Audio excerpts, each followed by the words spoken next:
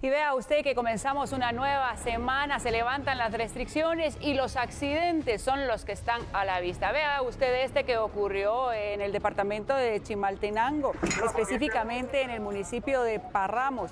En este lugar un camión que estaba cargado de brócoli volcó sobre la cinta asfáltica y provocó un serio congestionamiento vial sobre esta ruta. El piloto del transporte de carga identificado como Orlando Gómez de 26 años resultó gravemente herido y los socorristas tuvieron que utilizar equipo especial para lograr rescatarlo de la cabina, posteriormente enviarlo a un centro asistencial.